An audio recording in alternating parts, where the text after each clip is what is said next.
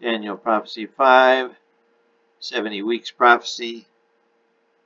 From the time Nehemiah rebuilds Jerusalem's walls to the time Jesus begins his messianic ministry, 408 BC to 27 AD, 62 weeks, Daniel 9, 26.